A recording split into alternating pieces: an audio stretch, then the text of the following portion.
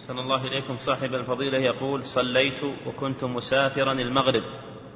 صليت وكنت مسافرا المغرب مع جماعة يصلون العشاء في البلد وتعمدت التأخير لأني كنت وحدي وفي التأخير إدراك الجماعة في صلاة العشاء.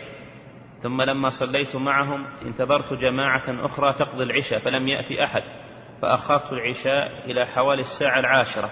هل فعلي هذا صحيح؟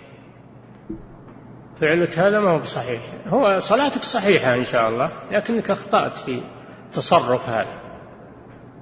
كان ينبغي لك أنك صليت المغرب أولا بادرت بصلاة المغرب ثم صليت مع الجماعة صلاة العشاء.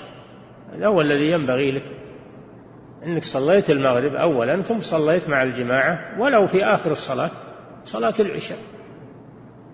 أما أنك دخلت معهم بنية المغرب وهم يصلون العشاء. ثم انتظرت للعشاء لعلك تدرك جماعة ثانية ولا جاك أحد وأخرت صلاة العشاء.